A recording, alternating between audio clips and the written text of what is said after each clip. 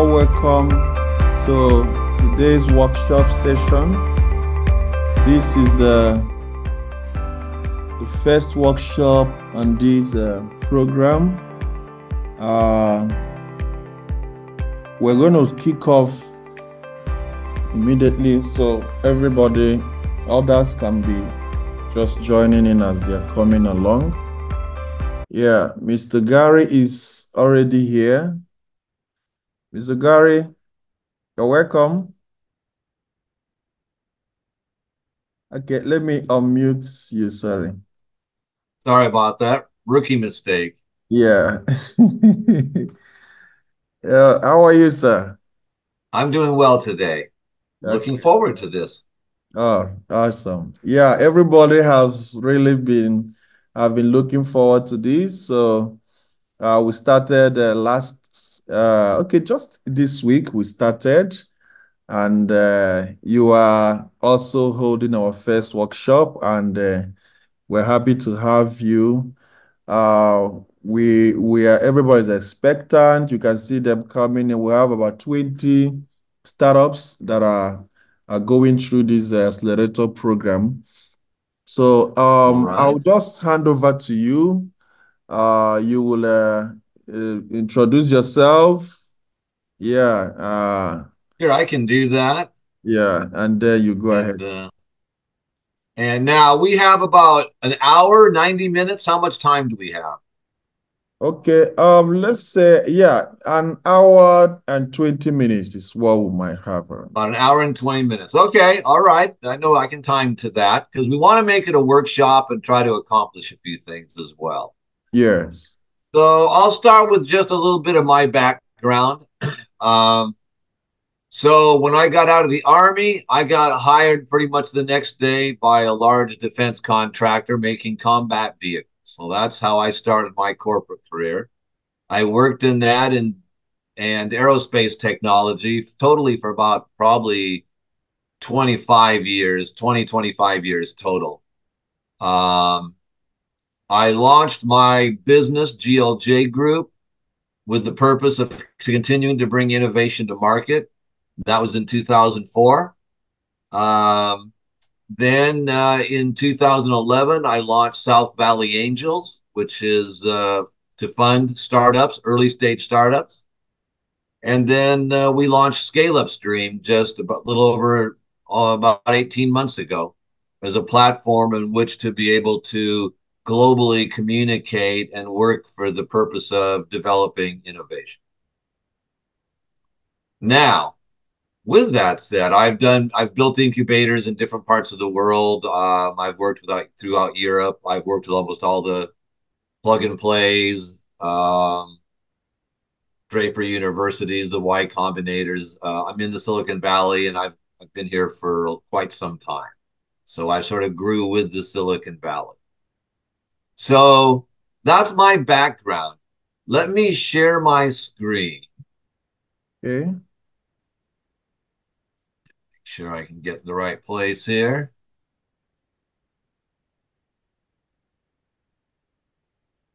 All right. Yeah. Can everybody see that? Yes, yes, perfectly. Okay, I'm going to kind of get all the Zoom stuff out of the way, but if anyone has any questions, um, just let me know. Um, I, and they can also, I guess, uh, Paul, if you're going to look at the uh, the questions or chats, if you just let me know because I, I yeah. am not looking at that. Yeah. Um, and then we can ask these in real time. Let me know if I'm talking too fast. Okay. I do talk fast, even for people that speak English.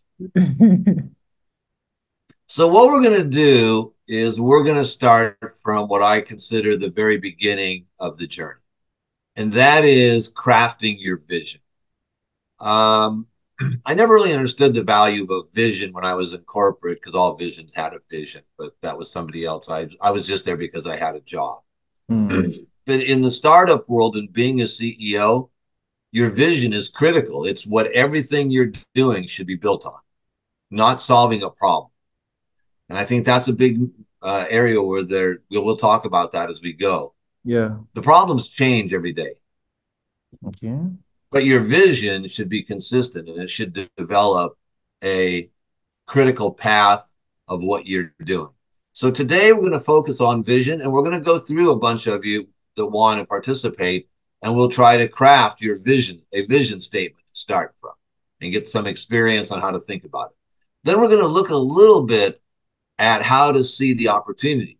Because with your vision, you see a pathway to an opportunity. So we're going to talk a little bit about opportunity, although a detailed discussion will go beyond this class. Yeah. But without a vision and tying it to an opportunity, then uh, there's, there's nothing really there yet. So we'll, we'll we can talk a little bit about that. Okay, so let's get started on that. So, assuming that all of you here are the CEO or founder of your business, let's talk about a CEO. What is a CEO's job? Who wants to try to answer that or give their thoughts on how they believe it is? No takers? Okay, there's someone. Um, let me um. I can go. Yeah, Victor Gibrin. Yeah. Okay. Okay. Okay. Okay. Um. Thanks so much. Uh, my name is Victor Gibrin. I'm CEO of Atidanoga. Um. Okay. So, in in my own perspective, um, the job of a CEO is to craft a vision, um, communicate it um, effectively and build a team around it to achieve that vision.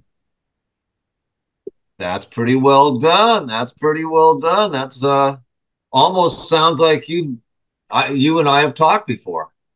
There's one more person raising their hands.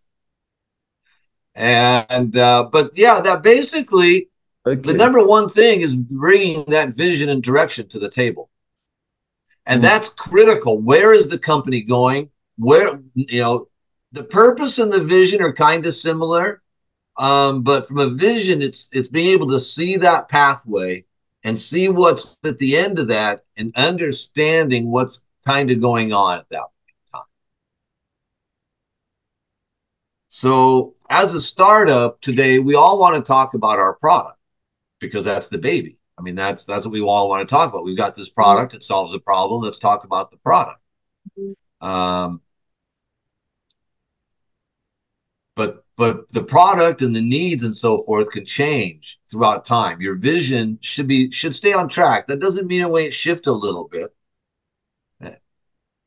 The second job is raising money ceos are always raising money either from investors friends and family banks shareholders. It changes throughout. But those are the two jobs of a ceo so actually the job's pretty simple. Raise money and keep everybody on track to where where you believe everything should be headed. Now, a third part of that, no less important, is try to develop a culture. Um, cultures are difficult to build, but on the other hand, they're also simple to build. Culture gets built by the leadership. The people that are working with you in your organization will do what you do. If if you play the game right, work hard, they'll play the game right, they'll work hard, you'll build a good culture. So you can write all the books you want on culture, but you have to do it, you have to lead by example. So those are really what I see as the three main jobs of the CEO. If you can do all those clearly, you'll be able to build a strong team around. Any thoughts on that? Okay. So that's the beginning of things. So this is what we're talking about here this roadway, having a clear understanding and communicating of what that is. Because as a startup today, remember, we're on day one. We haven't built a product, we haven't done any much analysis or anything yet. We're just getting started. So we have to understand what this looks like. Steve Jobs, Bill Gates of the world, they didn't get funded because they had an MVP. They got funded because they had a clear understanding of where they were today and what the future was going to look like and the kind of things and what was going on in that future and the kind of products that might be necessary. From there, they identified a plan to go after them. And that's what we're talking about now. So think of it kind of like this. This road, I think of this road as a river. and your product is a canoe. We can always build a better canoe. But if we put the canoe in the wrong river, it won't take us where we want to go. And so getting in the right river is critical. That's the important part. And that's where the vision comes in. Okay. Now, one of the problems I believe with the current model, and I'll, it, it's a balance of this, is everything today starts from building a product and solving a problem. And there's a natural connection to the vision, the opportunity, and solving problems. They're all three connected. Solving the problem is really about capturing the opportunity that you see within the vision.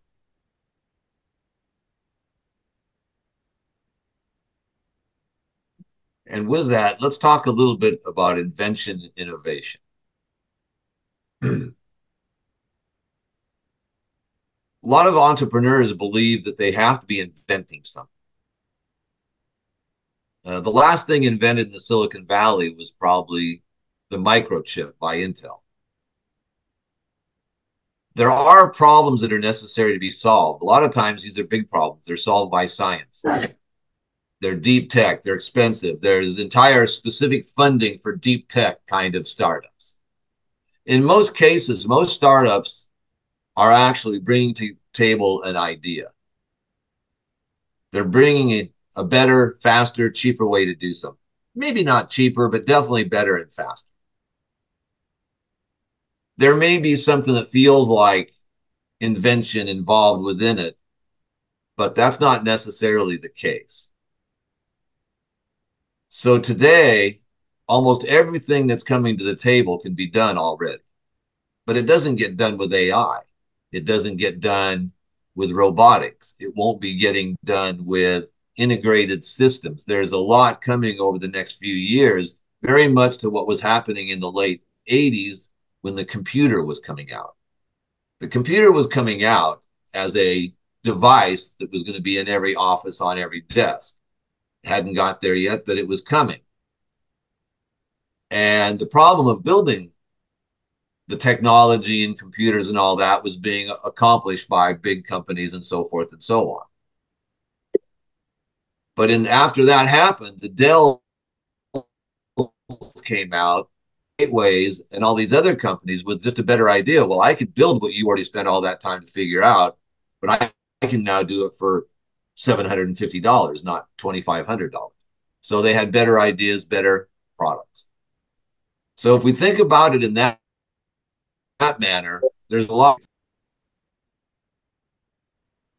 a little bit about that. But first, how, how many of you out there, uh, you, we just show it with a raise, a show of hands or whatever. Let me pop up my uh, participants. How many of you have a product built already? Not necessarily an MVP launch, but just something built that's kind of getting close to being launched or has been. You got to raise their hands on that or Okay, looks like we got a few people, couple people. Oh, here we go. There's more hands coming up. So then, is it correct to assume that the rest of you haven't started building a product yet? Okay, so in the perfect world, that's the way to do it. But 99% of the companies we work with have already built a product. So they didn't really build a vision and understand that the way we're going to talk about it today. They most people already know what they want to build because you have a background, you've got an expertise, you've got a work history, you've got a career of some sort doing something that gives you the knowledge that you've done to say, hey, there's a problem out there, I need to fix it. Now, the problem with starting this way is you get what we call investor bias, and you inherently are looking at today's problems. and trying to build a solution means you're building today's solution. So what happens a lot of times is we sit down and we jump up and we say, "Hey, I've got a good." Now, as an as a CEO, it's important to ensure. Oh, sorry about that. to ensure that everything doesn't look like a nail to you. You have to be able to keep a clarity of mind as you're building your product because you spend so much time with it, it can eventually engulf you. And so that's where the vision comes in, and that's where the vision is important. If you start by building a product before you build your business case, which is what comes out of your vision and the opportunity, then it's sort of like, you know, building a key before you built the door. And that's why 42% of startups fail. It's because of timing. Why now? The timing was not right for a variety of reasons for the various players that were necessary to have that happen. So today, any questions on that a little bit? I wanted to go through some kind of global things a little bit before we get into having some fun here. In, uh, I've seen that Peter, Peter has his hands raised. Peter, do you have a question?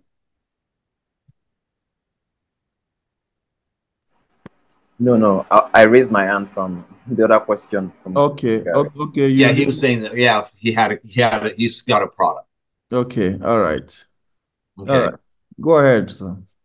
Sure. No problem. Yeah. So now today we're going to focus on two parts: the vision and the opportunity. There's some additional parts we're going to talk about just a little, but not really spend much time on them.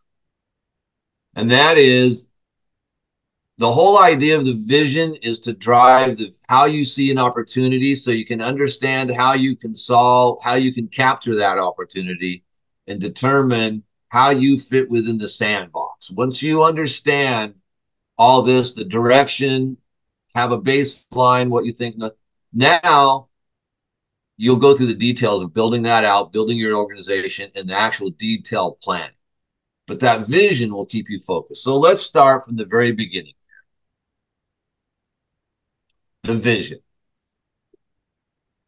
For the Dalai Lama, need to have a vision. So who we're going to start with a little exercise here, and hopefully we can do it with several, as many as we can. Who has a vision statement they want to share? Okay, so uh, uh, this is the. Oh, go ahead. Go ahead. Yeah. So this week, um, every part of the a milestone for this week was um, everybody submitting their business vision statement and mission statement. Yeah, I think uh, about five or thereabout persons have submitted. Mm -hmm. Yeah, so maybe I'll just call on uh, some of them. To... Yeah, if there's somebody that has, call one of the people. Let's see. Yeah. Um, they've got, and let's play with it. Emmanuel, Smashy, Hello, sir. Yeah, can you do you have your vision statement handy?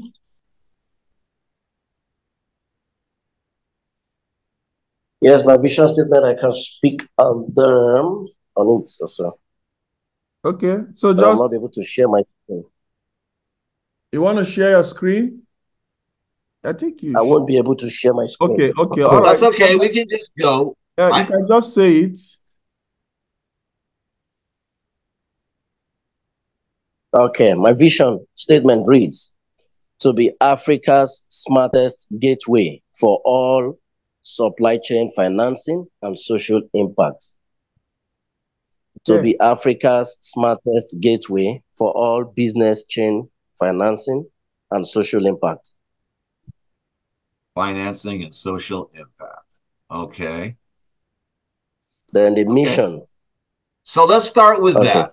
So when you're talking about a vision, you're you're talking about the future. You're seeing that, that that light at the end of that road.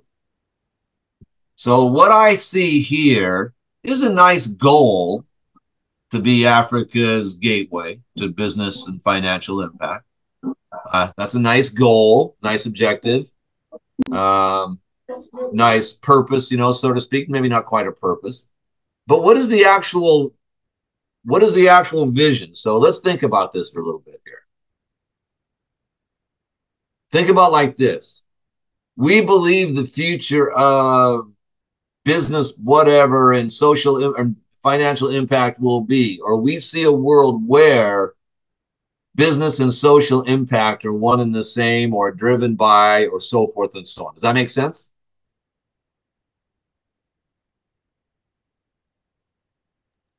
Yeah, yes, it does. Okay, so let's try that again. Think about that. Using one of those sentence structures, think about how you would how would you lay it out now? So let's try that again.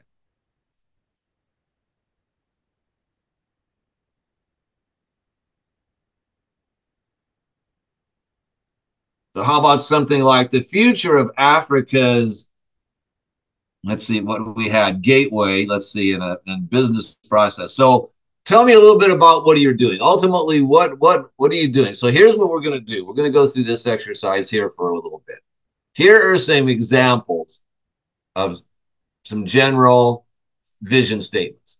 The future of automobile will be electric. Ai will replace humans in business analytics and process work. And so think of it kind of in this kind of a flow with your gateway and how that works is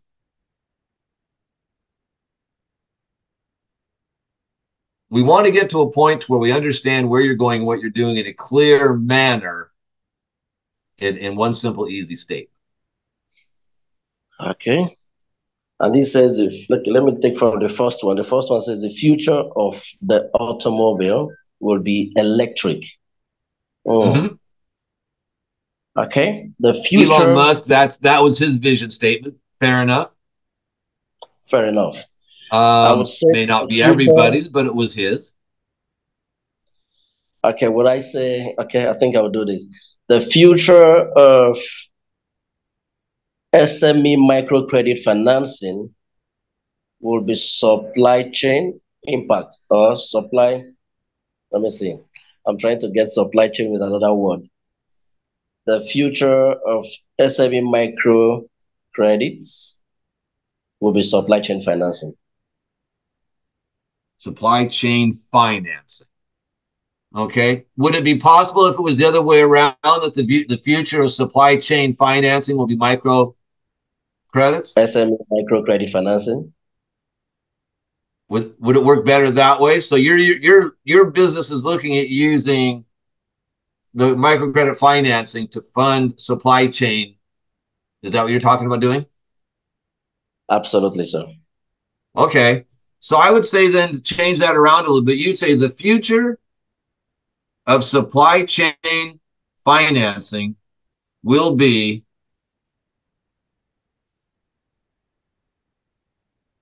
SME Microcredit. micro credit. There you go. Is there something else though? Microcredit and what? Anything else? Is there a follow on to that? Uh, yeah, I think microcredit financing and social impact. and social impact. Okay, there you go. Very good. So, okay, now that's a vision statement. We can improve upon that, but now you're, I understand where you're going. You believe the supply chain is going to be done by this. Okay, fair enough. Good enough. So that's a better vision statement. Doesn't mean it's perfect yet, Oh. but that's a better statement. It tells me what you're thinking. Now, keep in Absolutely. mind, as the CEO, it's critical that you this is what you bring to the table and it's important that everything you're doing should be based on how you see the future and where it's going not the problems you're solving the problems you're solving will change day to day week to week month to month right now everybody for the next 5 years is going to solve the same fundamental problem and that is the transition to an AI driven digital economy and social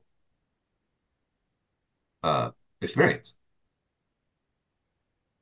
That's the big problem that's everybody's going to be solving. They're all going to be everybody's going to be writing AI stuff. Anyway, if, so so that's a good one. So who wants to give me who give me another person with a vision statement? Okay, let's take uh, UGRL. Uh, Chukwudi, can you? I think he has a good one too. Yeah. Yes, good day and good afternoon, Mr. Gary. Well, Good usually our, our premise is really local advertisements. So we believe the future of uh, West African ads is extremely local advertisements. Okay. I like that. That's simple, straight to the point. It's kind of sort of along along line the idea of the agriculture one, where the future of agriculture will be to grow a local and consume it local, not ship it everywhere. Mm. So you're looking at the same thing. So you're looking at very localized and personalized advertising. Yes, sir. Okay, I like that. Is there any follow on that goes with that? Is it local advertising? Okay, is there a follow on that, that then like ties you to something, or is there anything, or just local advertising as a period?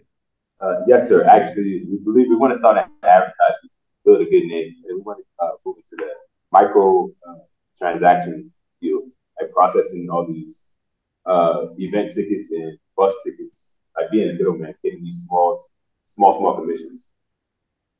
Okay. So you want to apply the micro payments to through a local advertising model.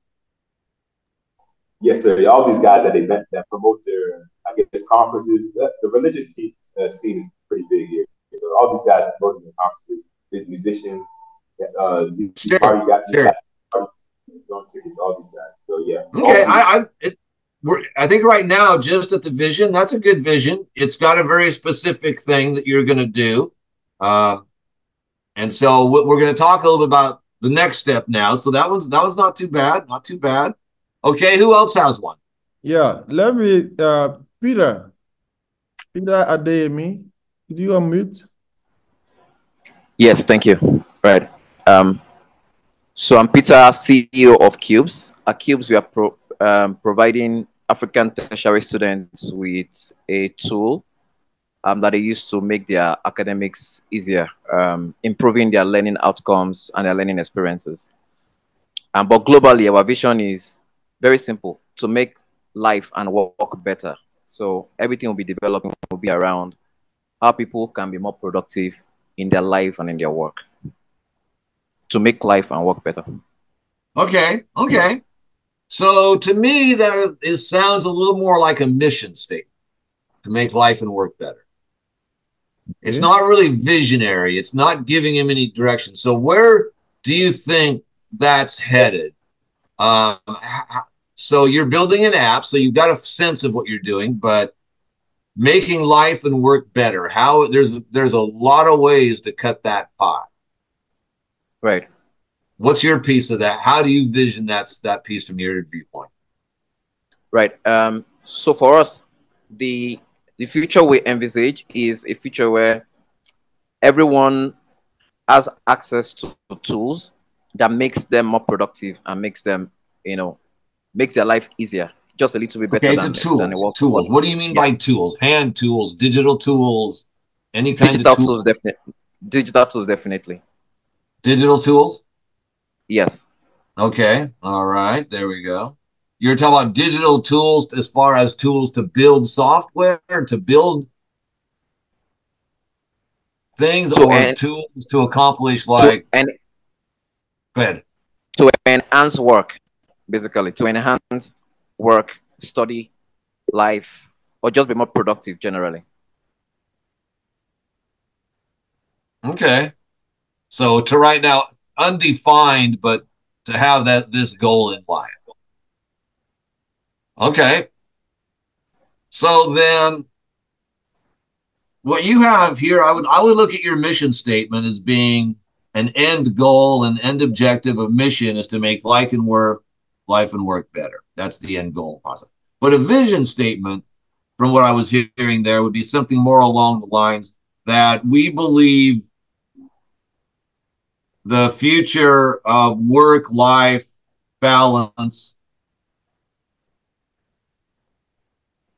will be so we're talking about um, will be you know something like seamlessly you know where the tools are in there somehow but will be seamlessly and you know add value or something. Just sort of throwing number of things out there. Does that make sense yeah that, that makes sense that makes sense because when I was listening to you a little bit, I got more of a bigger sense that it's not about creating another Microsoft Excel, another Microsoft Word, another Microsoft PowerPoint, or all these various tools that we all use to make our life better, and if, whether that's a work life or personal life, but more like a more of a communication integration capability to balance that out, out and seamlessly and in some sort of a personalized interface. Is that a true statement? Yeah, that's correct. Okay, so I'm assuming it's an app, but anyway, but to go to the bigger picture. Okay, so I would tie your future statement in then. So tell me from that perspective, then we believe the future of work life balance will be what? How do you see it? Or we see a world where work life balance is managed through, or how would you finish that? We see a world where work life balance is becomes more seamless. How is that? I like that. Seamless is a good word. I threw that in one of mine up there. Is seamless. Okay. I like that. Now it definitely screams like it should be seamless in something else. Yeah, I, I was thinking, I was thinking, uh, bringing in the digital tools. Uh, is there a way to bring in the digital tools aspect of it as well? So how about we could say did you know seamless and digital? That could be a possibility. Right. So hold that thought for a little bit. Now let's take these as examples and and go kind of the next step. And so we'll, we can play with this when we get done with, as we have time left over, we can continue to do different vision statements for if everybody wants to try to do it, we'll try to do that. Yeah.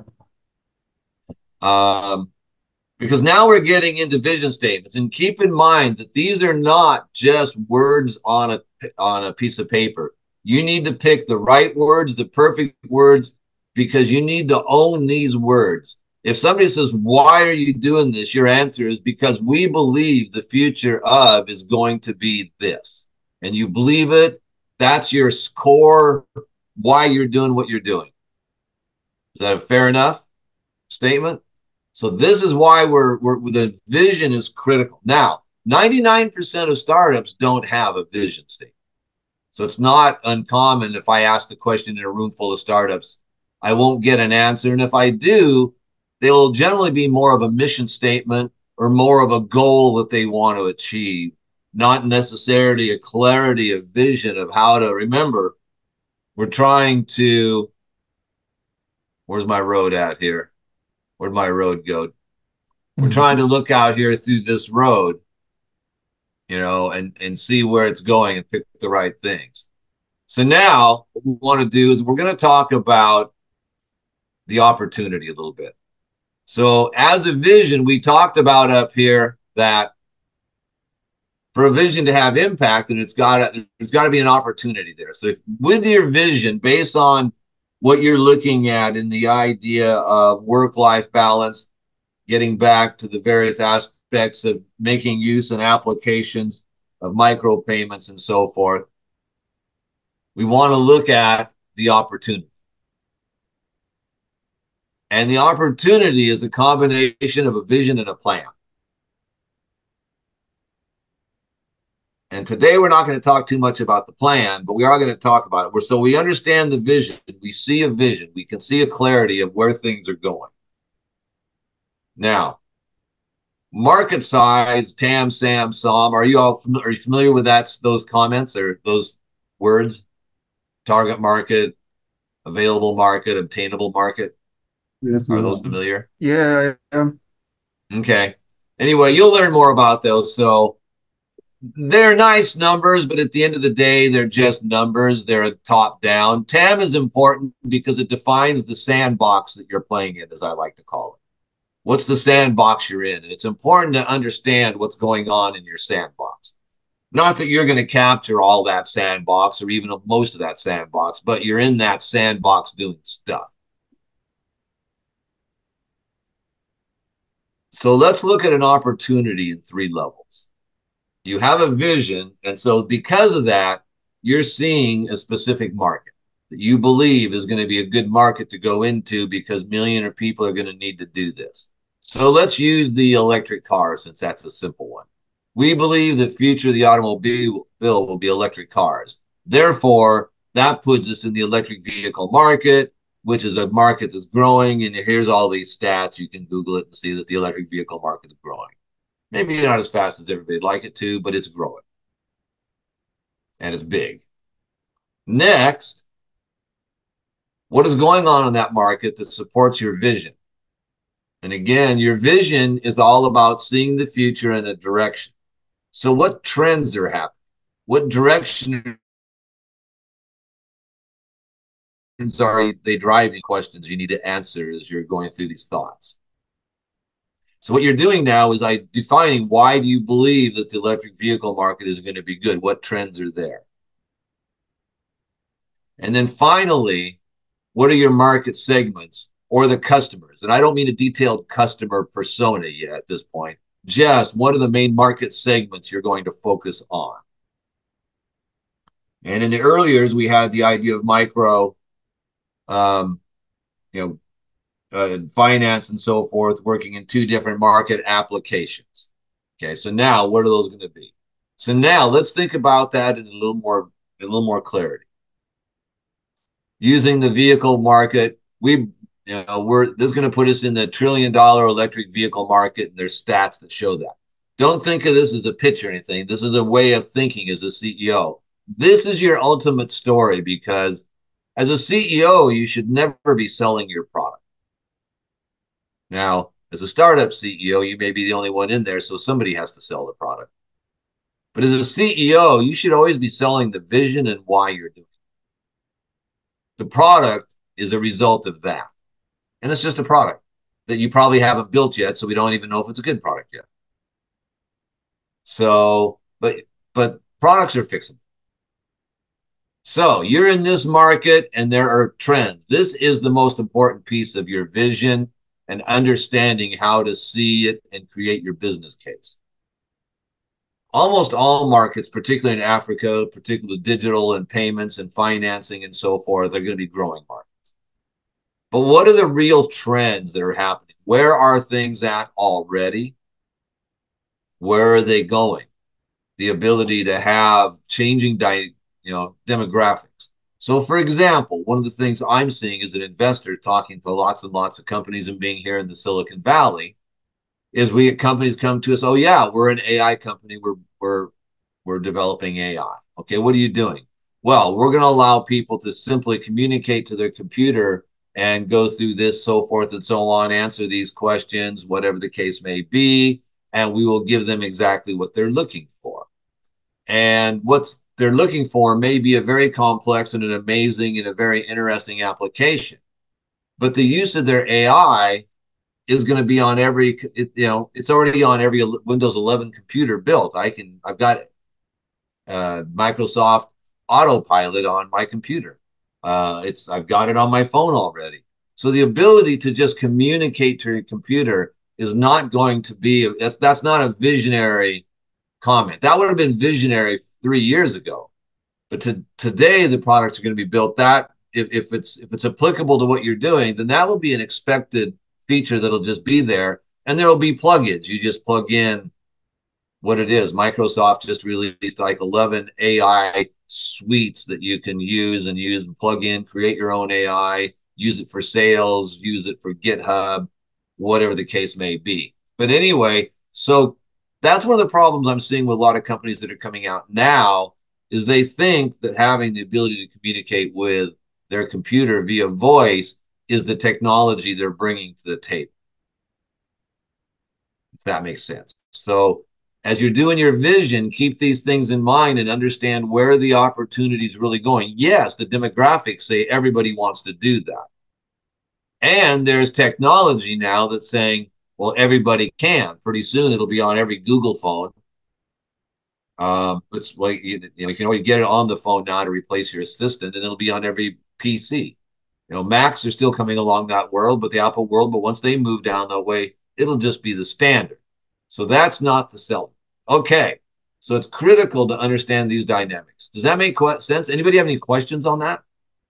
There's a lot there. That's a pretty, there's a lot in that little topic. Yeah, I'm seeing a hand raised. Uh, Chukwu, did you have a question? Your hand is raised.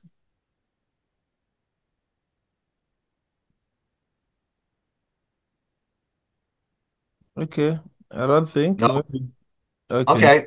Yeah, go ahead. So now the final piece of this is the market segments and what market segments you're going at.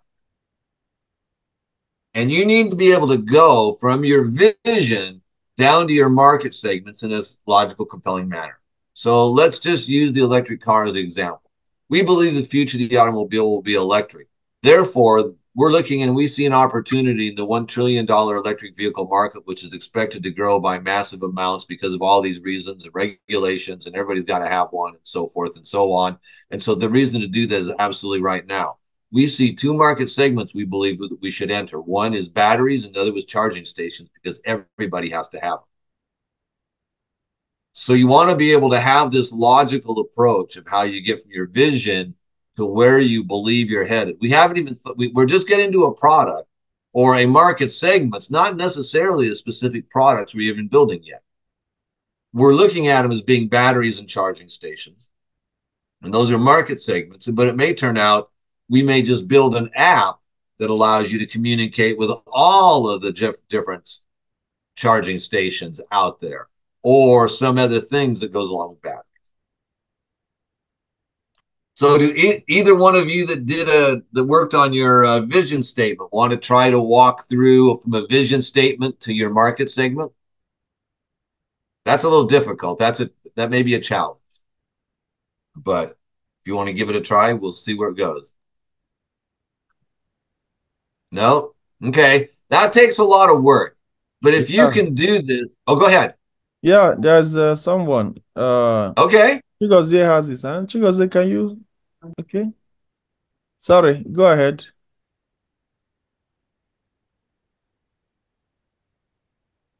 Nothing? No, it's coming. It's coming. Oh, coming. Okay. I I think I keep. Okay. Yeah, Hello, can you hear me? yeah. we- Yes, I can hear you. Okay, so I said I didn't do the first time, but can I go ahead just to Sure, go ahead. Okay, so from the vision, um, we believe that the future of retail is organized, automated, and digital. Um, we are seeing um, a high growth of population in Africa, over 1.2 billion people, with over 70% of them as young people, with high adoption of technology here in Africa. Um, and also, um, there is also a growth rate of um, over um, $200 million uh, is being spent year on year on groceries and items that are bought from local stores and offline retail stores. The markets that we're looking at is really the infrastructure that will enable retail stores to operate their businesses offline. And then the other side is really synchronizing their offline sales with um, online shopping or digital shopping. Okay. Okay, so that gets us down through where you're at. You've got a vision. You've talked about where some of the opportunity is. What markets are you? What, what would your market segments one and two be? Let's say. Okay, um, the market segments are um, offline stores or, or supermarkets or retail stores. Um, and the market Well, they're different. They're slight. They're different, but Yeah. So supermarkets is pretty distinct. So we have, yeah, we have supermarkets, um, and then other pop and mom shops. retail, but mainly mom and pop shops. Okay. Yes. Okay, very good. All right. So not too bad, not too bad.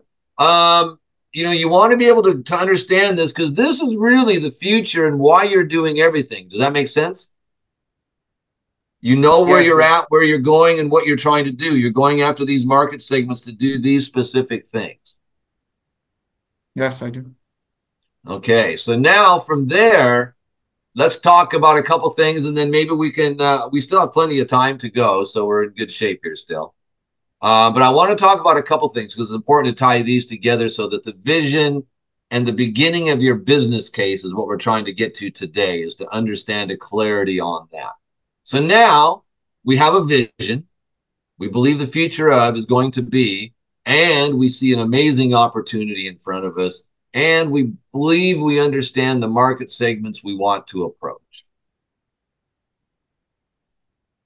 Now, one thing on market segments, real quick, also is understanding with a startup, it's about speed to market. So you want to get into a market segment you can get into quickly and rapid. Not necessarily the biggest one, but the one that you can learn from the fastest. So that generally tends to be who somebody knows on your team that you can go and get meetings set up or get customers or start getting people to start doing what you're trying to do. Um, a lot of times people get focused on being around John, and getting in the biggest market, but that may take a year to get even a meeting set up in there because nobody on your team knows anyone or knows how to do it. So think about that as you're thinking markets to get into. The big market is good, but as you start breaking these markets down into very specific applications, think about that as well. So, okay, now with that, oh, we're going to talk about that into the next section of the, and that is the competitive landscape. Uh, so let's have a little fun with this one. So, how many of you have a competitive landscape chart or have put together something or thought about your competitors? How many of you have like an Excel spreadsheet that says, here's the features that are important, here's what we have, and you have yeses or X's? Do some of you have that kind of a chart? Yeah, just show of hands. Anybody? Just show of hands if you have. Okay, all right. Got a couple people have those. Okay. So that's an important chart, but not yet. That's a good chart for the second meeting with the investors or the chart when you're building the actual product for customer use. That's when things like features become important. So right now we're still contemplating what would even be building. So we have a vision, we see an opportunity. Where does that fit in the competitive landscape? What direction are things going? How are they happening? And so what we mean by that is again, think of things linear. So your vision defines how you see the future market. Remember, we had that road, light at the end of the tunnel. So what we're thinking now is your business positioning and insight, not a product comparison. There's no reason to compare a product today if you haven't built it yet. And nobody's used it enough to know whether it's a good product. So that discussion is a difficult discussion to win, selling your future product against somebody else's future product. But it is easier to talk about competition in the same manner of your vision and where are things going. So think of three competitors. We're going to call them the incumbent. That is the company or the technologies that have been doing this forever. Whether that's putting a flyer on a windshield or whether that's just using your flip phones or whatever, the incumbents are either the companies that everybody knows their name. They've been around for 20, 30 years, whatever the case may be. And this is how you've been able to do what you're doing forever. Not the way you're doing it in the future, but they're the ones that have been around forever. So, for example, in, in social media today, you could consider Facebook as an incumbent in social media you know, those kind of things.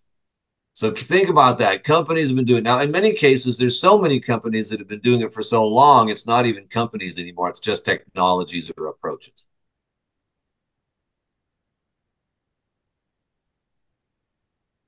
Next, you have the new kids on the block. And these are the companies that have come out in the last three to seven, eight, nine years that are starting to do what the incumbents have been doing but now, in most cases, they've probably moved it online, made it a SaaS model, made it a website, made it digital in some manner. So you could say, using social media as an example, the new kids on the block could be everything as new as TikTok, let's call it, or, or as old as Snapchat. That range of people would be kind of the new kids on the block that have established new standards. People know who they are, they're growing they've been around and popular for you know like I say two three five six seven years but they haven't been the, around for 10 20 25 years stuff like that okay that's the new kids on the block then you have the next generation companies, which are the ones like you, were at, and they're actually the ones you're competing against. Because all of you are going to walk out with what you think is the right product at the right price in two years from now, maybe three, give or take. And when you all walk out, now you're going to be looking and seeing what everybody walked out of that door with. And it won't be the products you're thinking about today. So let's look at our let's look at it kind of from that perspective. And think about what we were doing earlier. Like let's see here. Um for example, supply chain for for you know for um social impact, right? So yeah. you could put just say like supply chain social impact or whatever could be the categories of your on here. For an example for today, we're just going to say faster and smarter. But that could be for the logistics, that could be where you put your your social impact and so forth. Um,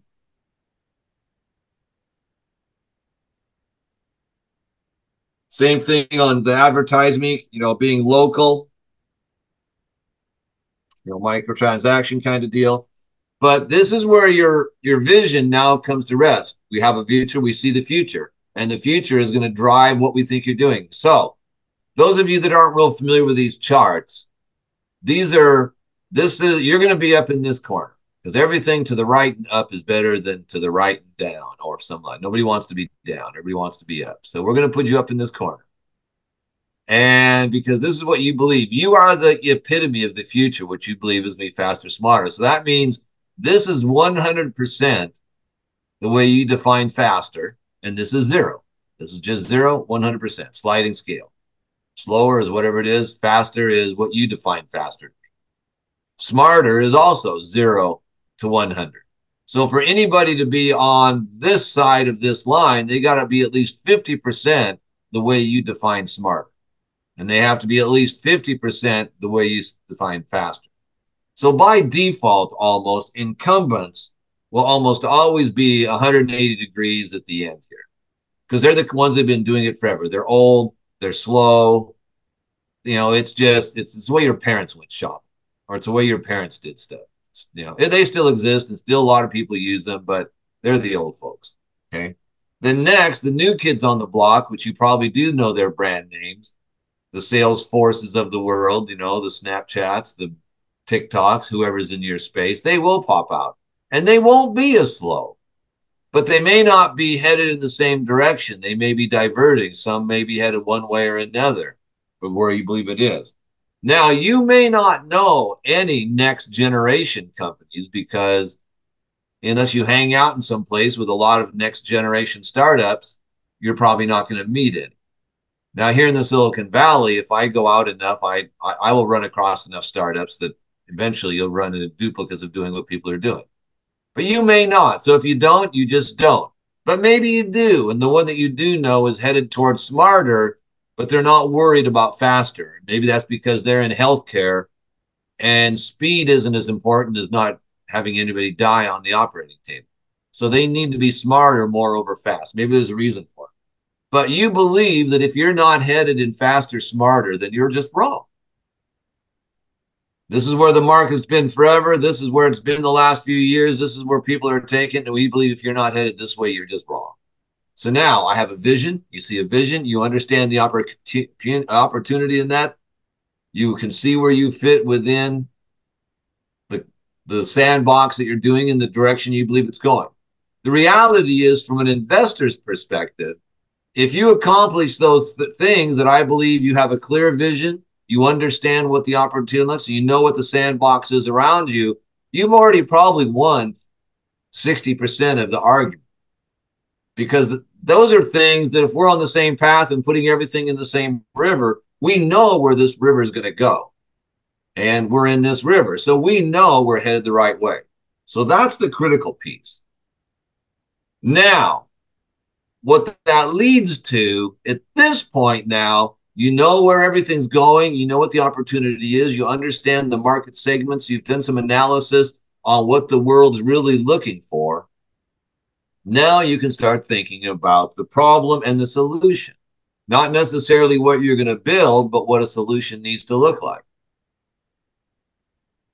Most of the time, you're going to want to look at the tactical problems. This one right here. It's too slow. This is too crowded. This isn't that. Um, it's a fragmented, these kind of things. The reality is, whatever the tactical problems are today, you just need to be 10 times better than whatever they are.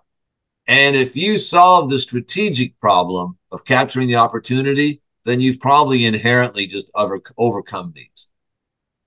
In many cases, the AI of the future will just naturally overcome these tactical problems today. So you want to look at your problems strategic. How do I capture the opportunity? So let's use our example of the electric car. We said we had two customers. We had or two market segments. One was batteries, and one was charging stations. So strategically, to capture the battery opportunity, today I just have to build a better battery. Nobody wants a cheaper battery. Nobody wants a smaller battery. Everybody wants a battery that'll go a thousand miles on a charge. And then, then I can start figuring out how to make it charge faster, how to make it smaller, how to make it lighter, how to make it less expensive and those kind of things. But for me to be successful, I have to solve, I have to be able to capture this opportunity with a better battery. If I do that, I'll solve all the problems down here because I have a better battery. Now, in the world of charging stations, I do not necessarily have to build a better charging station if I can put it on every corner and in every garage. So I have two different ways of solving the problem from a strategic level. And these problems today, we're just going to solve it by putting it in every garage and making batteries that work better. What I really, what can get us in trouble are these future problems, adoption and emerging tech. So as you're looking at your vision and seeing the future and how the opportunity looks, make sure that what's coming down the road so you're not those people that are kicking off a startup today that think their AI contribution is going to be ChatGPT or um, Microsoft Pi Copilot, where I'm just, oh, we can talk to the, I can talk and get answers. That's that's not going to be the solution. Much like the SaaS model world, just connecting people is not the answer anymore. You can't just connect. They have to connect. There has to be a, a, a, smartness and a seamlessness that makes that allow that to happen in the future, and it has to result in some sort of an action. So I, I you know, just connecting and say, "Hey, we connected. That's nice." You know, LinkedIn. Hey, let's connect. I connected. Hey, thanks for connecting. Okay, bye. You know, that's that's just connecting. That was 1.0. 2.0 that connection has to happen that comes back and says, Hey, I see you guys are connected to this group, talk to these people. You know, these are some common activities that are going, you guys could take advantage of these discussions that are happening right now and make action out of them. Now you've got something that's happening in connect. Anyway, those are the emerging things you've got to look at. As far as your product goes, your baseline, you just need a what is it, what does it do, how does it do it, why is it important? We're not going to go into a lot of detail of that today but that in itself is not an easy task. If I was to ask most of you to tell to tell me what it is, what it does, how it does it, why is it important, that in itself would be a 30 minute discussion. Can anybody in here want to try to tell me what their product is in one sentence? Just quickly, if I was to ask somebody, what is it? We can go, let's walk through this exercise once because this can actually be uh, entertaining as well as uh, informative. So who wants to try to answer these four questions with one sentence that grandma can answer after dinner? She'll understand it if you tell her what it is. So who wants to try these four? Okay. Uh, good exercise. Yeah, okay. I see. Okay, let me choose someone who hasn't really said. Let me uh Emmanuel. Emmanuel. Yeah, good evening. Yeah, good evening. All right, um, Manuel. What is it? Tell me what your product is. What is it? Uh, Just Deal, um, here for Just Just Deal is a marketplace for buying and selling for second, a brand new second item. It's just a marketplace connecting buyers and sellers. Okay, marketplace for connecting buyers and sellers. Okay. You could maybe expand that if it had a focus, but we'll go with that. So since we just know that, so now this question's important. Sometimes this question and the first one don't you don't need the second one depending how you answer the first. In this case, I do. What does it do? JustDeal helps to create trust between sellers and buyer in a way of making sure that you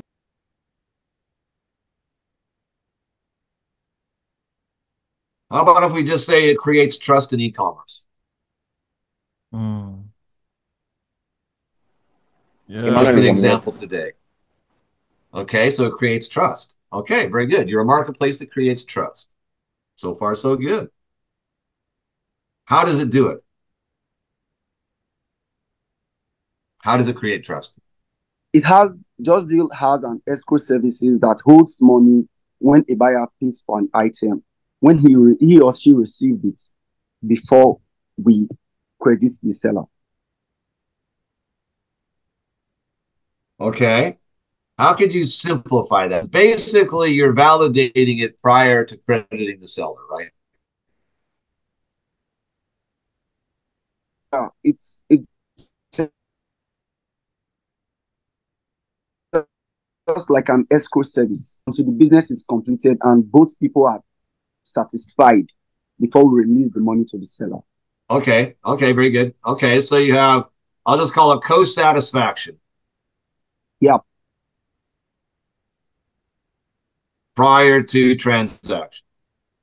Yes. So Okay. So of course that then has a tactical problem with it was how can you do that fast? So it's not a burden on the system. Anyway, that's the question. Okay. So okay, I know what it does. I know how it does it, kind of. We'll call that good enough right now. We're not going to go into the details of what that co-satisfaction process is, but there's one. So why is that important? it's it's important because uh, in Nigeria we'll find out that there is this problem between in all uh, that we have in the country. Nobody, no ecom, no marketplace entirely has this process of managing their order, their processing, their orders on the platform. We have But because they don't have it, doesn't make it important.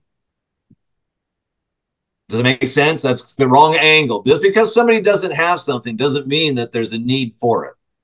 Um, you say so you, you don't want to look at it. Well, they just they, they, they don't. Why is it why having a you know a okay, process okay. Let me come. for safe trans? Okay, let me come. Josie helps. Josie can easily help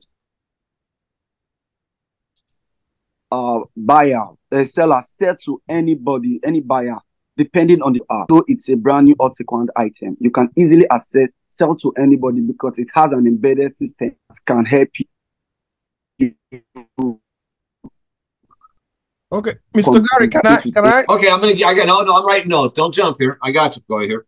So here's what I'm seeing here. So the product is a, uh, you know, the real reason is because it's the most effective way to, really, it's the most effective way to to create Yes. It's So that's what I know that. So I'm going to give you a good job. You did pretty good on that job. I'm going to run through real quick with something simple like a bicycle. I want, since we were doing electric cars, we're going to talk about the real product, which is a bicycle. It's a bicycle. Everybody knows what a bicycle is. They can send them around. What does it do? You know, carries you from point A to point B. How does it do it? It does it with human power. Why is it important? Because it will always be the most efficient form of transportation. Oh. Period. That is nice. So now you can lay it out like that. You know, it's a marketplace. You know, it what does it do? It builds trust during e-commerce transactions. Oh, how does it do it? It has a co-method for ensuring co you know, status the transaction prior to a sale happening. Why is this important? For the user, it gives them confidence to, to pull the trigger and spend that money. For the seller, it feels the confidence that are arriving to them. But in the other process, it may also ensure that there's less products returned. So there's a variety of reasons why this is. So that's why it may in fact be the most effective way to for e-commerce to grow out and so forth. Does that make sense? Perfectly. So, okay, so that's how you want to think about this exercise. So now this kind of brings us really getting close to the end of the journey of your business case. You see a future where this is what it looks like. This is what the opportunity looks like because of that. And this is where we're going to go with that. This now is what the competitive landscape looks like from where they're going, where they're going, and where the market's. It's all about where the market's going, not what you want to build. You've got to build what's where the market's going. So with this process you now, you do that, and here, here you can come and say, okay, so for me to capture that, I have to, you know, provide a better marketplace. I have to do these things, which is I have to make the trust and the comfort level X amount. I have to be aware of AI that's going to come that's going to convince me I'm somebody I'm not, or whatever the case may be. The AI and the you know the things like that will be ahead of us as people. So you're going to have these things that are coming down the road that you have to be aware of because if any of those come down and defeat what you're doing, then as a product, your your life cycle could be over at that point. Fair enough. Um, now that's just for any generic thing. I'm just using those examples of how to understand what's going on. Um, if everybody says, "Oh, you have to adopt this standard," but you didn't because you didn't see it coming, then that could make you the odd, the, the odd person out. So emerging tech and how the future is coming is really more important. That's where the vision comes into play. Clarity of that pathway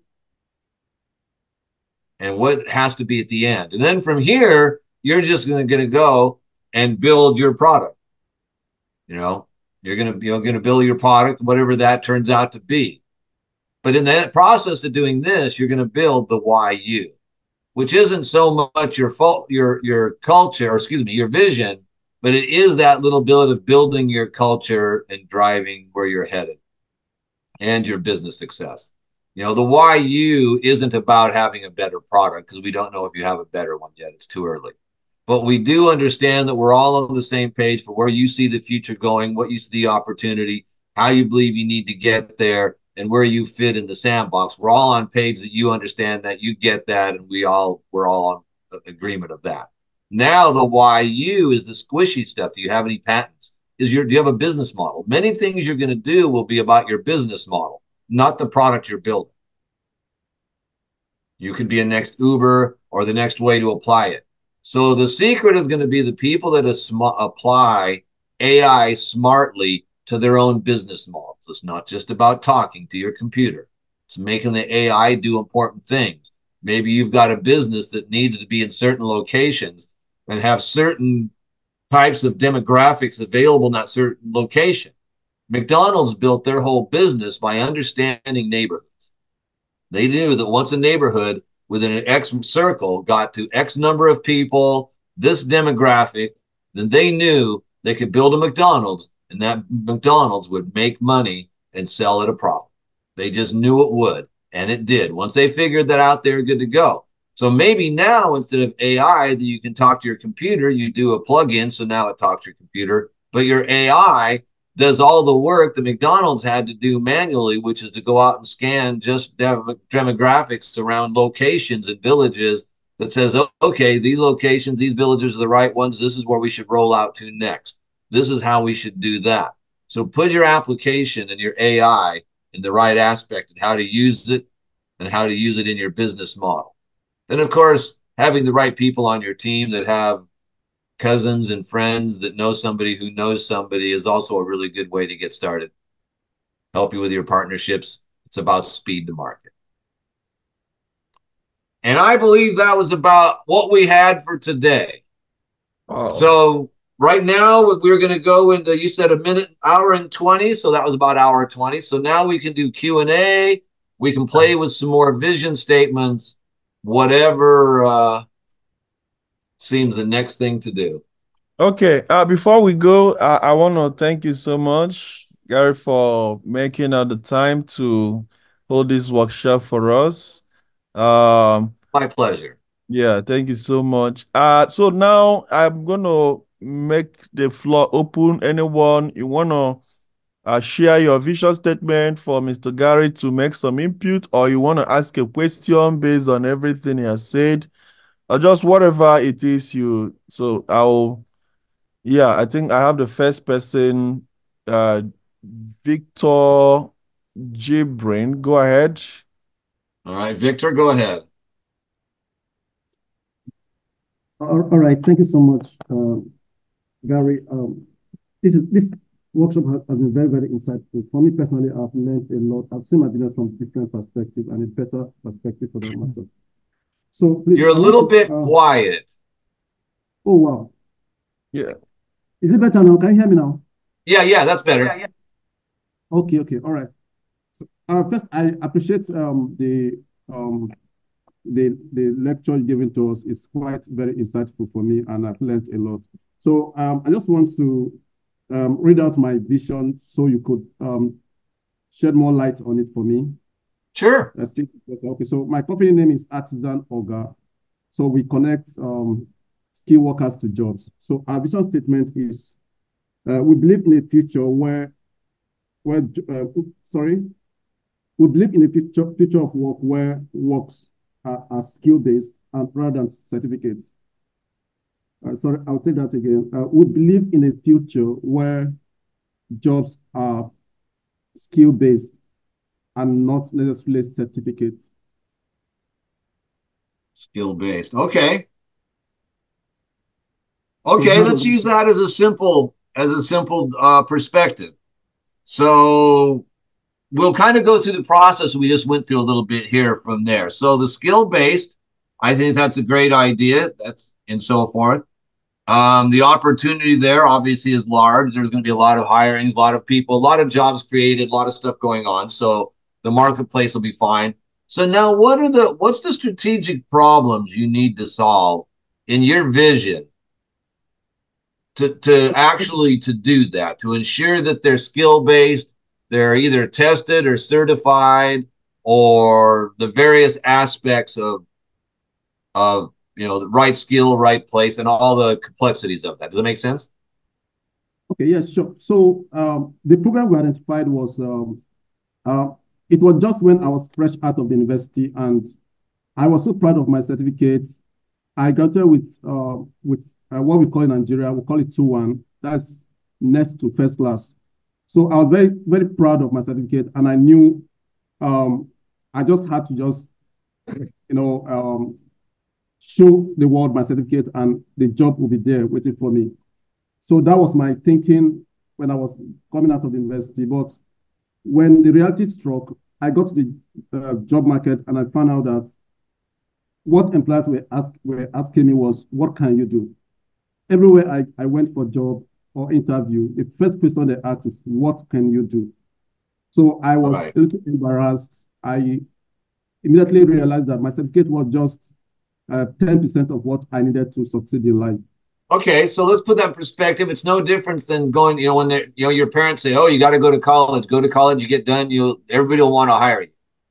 And so these things don't necessarily define skill. Where you've been, and so forth may identify things but not skills. So I think you're on the right track. The idea of you know will be skills based.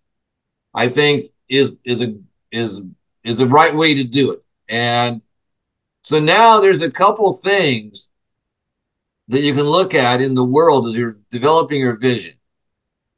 One would argue that they've always been skills based. You're hired because of your skills. Now, we realize that that's not always the case for a variety of things, whether it's economic, political, whatever. There's all sorts of reasons why people get hired. So now, if we're looking at a skills based and just assume that, that that's a right way to do something, what else in the future um, goes along with a skills based work? Again, you can't just connect so now, what would the action come out of that? So, does, does that make sense? I'm just kind of digging a little deeper and where it goes from just being skills. That's a that's a nice, easy, simple one, but I think we could add more depth to that vision. Victor, you understand what he's saying? Uh, yes, I understand. So, um, Okay. so uh, I, I would like to know the depth. Um, if the vision is fantastic, okay, fine. Then uh, moving forward. So, what next? Step, what's um, what are the next steps I need to take to um, to make the vision actually um, Yeah, so let me let me do this. I was think think something along the lines of, you know, it has to be skills based, but it may also have to be transferable Okay. because people don't work for the same job for 25 years anymore. That's true. So I got hired at a job because of my skills for that job. But then did I get more skills or whatever? But now I'm leaving to go to another job and I've got to do this again. So skills based is, is good, but transferable is not. When you work someplace, people know you and they say, Oh, Victor, I know Victor. Victor's good. He, you know, he does, he's a good job. But now I leave and go somewhere else. Well, who's Victor? I don't know. Is he good? I don't know. Victor says he's good. You know, so now think about your vision in a more of a visionary, not just that it's skills based, but what is technology? Where is the pathway going for for it? Are people going to be hired the same way?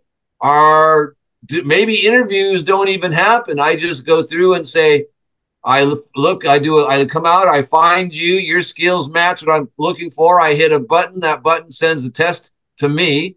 I look at that and say, oh, this company wants to hire me. I take their test, I draw something, I show that I know how to do something.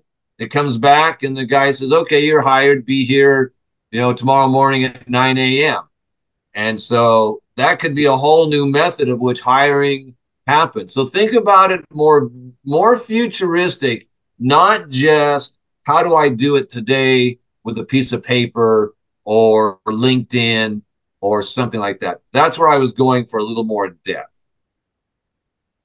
Okay.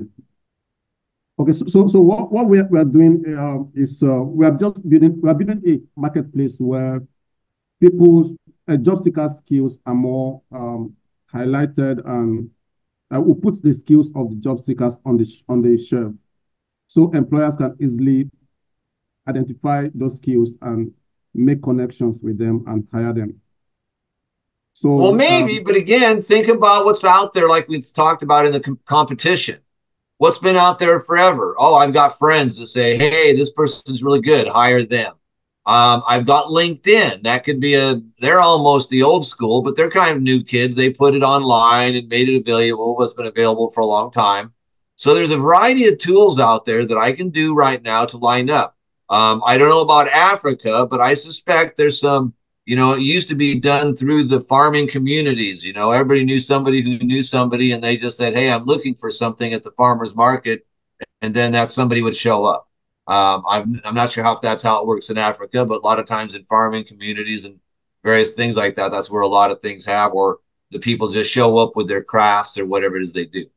Um, so I think you want to be more futuristic looking of where is it going what's happening what's it going to look like? It's going to it's going to have some sort of you know things going on ai it'll be on a phone and there's demographics. So just think a little bit more. I do like the eye of it being skills based that's a very simple aspect of it and i think that's great. So think about that a little bit more of, of what that means at the end product that would be sold. Marketplace is is fine but you want to be careful because if not, in the next two years, there'll be a lot of marketplaces coming that you're not aware of today because they're they're startups and they're going to be more modern than what's out there today. that's true. Um, Yeah. Thank you so much, Gary. sure, sure. And this is really a, an important part here because these are the timing of things. Once you start writing code, start bending metal, start putting things into place, um, then things get more complicated and more costly. So it's important to make sure that you're, you know, headed the right way. Now, if you're not necessarily looking for private funding and things like that, then you could just create a nice small business for yourself. Um, but if you're going to come down this road, you want to make sure you put something together that can take advantage of the next coming of of technology, so that you know it doesn't have to be a unicorn. But if you build a good quality SaaS company, you should be able to operate at 80% profit margin. And if you can make 25 or 50 million dollars a year, put 40 million dollars in the bank, then that's good. So, all right, well that's that's good job. I like that where you were headed there on that vision. I would just think that and see if there's a little more insight because my example for the future of the automobile will be electric. That's kind of a real simple one that falls in that same category. Um, but there's more things now. You may be the future of the automobile will be electric and self-driving. And if that's the case, then that changes the market space I'm out in, and that changes the market direction I'm going and the things I'm focusing on. Maybe. All right. So, all right. Anyone else want to try? How are we doing on time? Okay, Still let's good. let let's take one more person. Uh okay, Chigozie, you're okay. Let me sorry, let me sorry, Chigozie, let me take Marvelous. Sorry about that. I, I know you've said something in the past. Let me just take Marvelous. Yeah, I know you've not spoken today. Yeah. All right. Um, can you hear me? Yes, we can. All right. Um, good evening, everybody. And also thank uh, Mr. Gary. So, like, that's been impactful. So, um, I have- want to go through, or from what you said, I just want to um, read out what I've been able to take down and also how I uh, how I've been able to infuse it in my uh, startup that I'm building. So I'm just going to tell you briefly, uh, based on all what you taught us, I'm going to use that explanation to describe my startup to you. So, um, so you tell me there, uh, or, or possibly what is not in order and what is in order. Sure. You're you're a little bit of a not really an echo, but there's a little bit of a, of a digital voice thing going on. So I, I may have to have you repeat a couple times just in case. So Oh, okay, okay.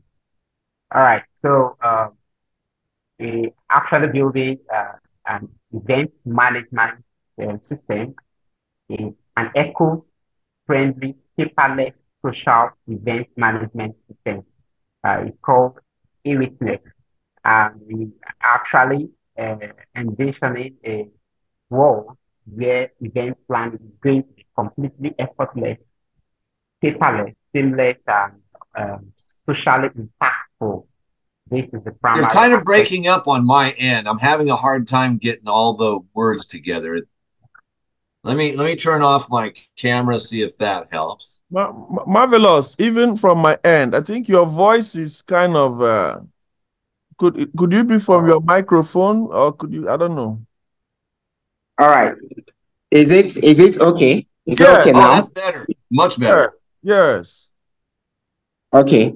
So, like I said, um, we are actually working on an event management system, an eco-friendly, paperless social events management system.